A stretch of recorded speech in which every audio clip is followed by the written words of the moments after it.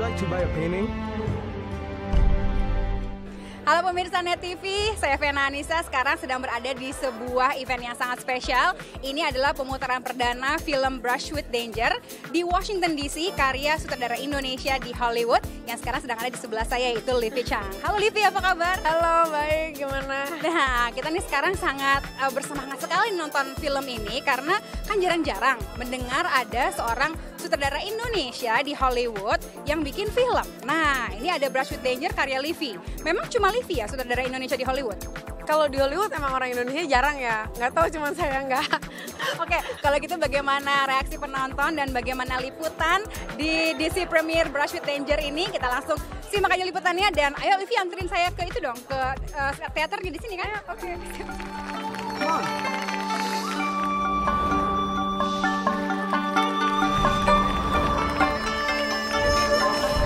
Adegan dalam film Brush with Danger yang satu ini tidak dilakukan oleh seorang pemeran pengganti, melainkan aktris utamanya sendiri yaitu Livi Chang dari Indonesia.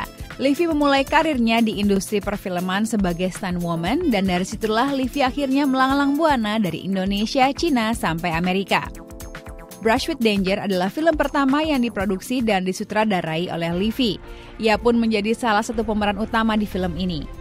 Brush with Danger adalah kisah tentang kakak beradik yang harus meninggalkan tempat asal mereka dan memulai hidup baru di Seattle, Amerika. Pertama saya punya ide cerita dan kebetulan uh, produser yang saya kerja sama itu hobi bela diri. Kita ketemunya di sekolah bela diri. Lalu dari situ uh, kita bergabung dengan dengan stunt coordinator yang coordinate stunts buat pemenang 8 pemenang Oscar seperti Denzel Washington. Jadi dari situ uh, timnya berkembang lebih besar dan dari situ kita banyak dapat uh, baru mulai banyak dapat investor untuk film ini.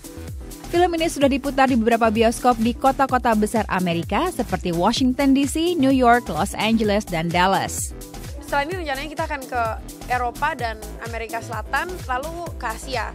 Jadi uh, ya moga-moga bisa masuk ke Indonesia juga.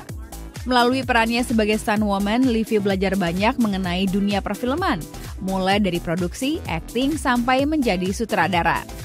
Very, very well done movie. I mean, in terms of in terms of the martial arts in the movie, um, how it was a feel good movie. Saya Vena Anissa untuk Net TV, VOA.